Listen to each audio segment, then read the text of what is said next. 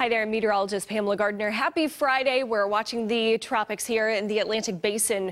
We have Hurricane Irma that's still a strong category three. It's going to continue to track westward through the Atlantic and increase to a potential category four by Tuesday and Wednesday. This is a long term forecast here as it heads towards the Leeward Islands and the Lesser Antilles. We'll have to keep a close watch on this. Puerto Rico, Dominican Republic uh, need to be on standby here for potentially a strong strong hurricane. Now, for us, the remnants of Harvey will impact our forecast as we go into Sunday.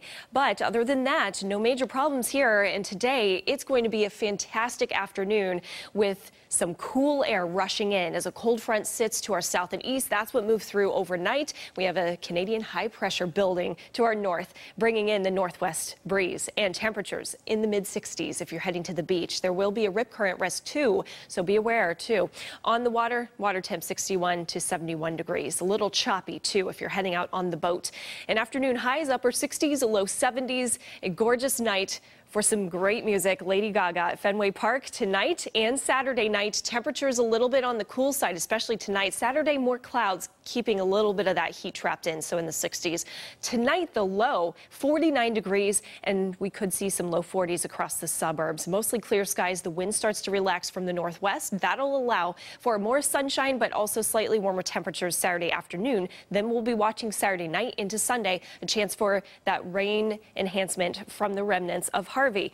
And those scattered showers move into the picture across the south coast, Cape and Islands for early Sunday. Scattered rain around the Boston area. The heaviest rain potential to the south and east, and then also way to the north and west. In between, it looks like we'll be tracking about half an inch of rain accumulation. Could see one to one and a half inches of rain in isolated spots. Depends where the heaviest rain does set up, but no widespread flooding concern as of right now for your Sunday. Sunday evening and going into your Monday, it dries off again for the last summer hurrah.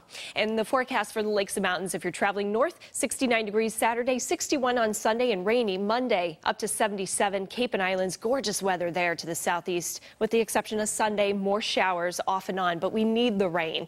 Weekend outlook, here you go. Saturday, 73, scattered late day chance for some sun Sunday. Labor Day, all sunny and 81. Beyond that, in your seven day forecast, we jump up to 88 degrees on Tuesday, so summer not gone yet, even though we've started meteorological fall. But Wednesday, 78, chance for rain. More showers on Thursday for the Patriots home opener, 72.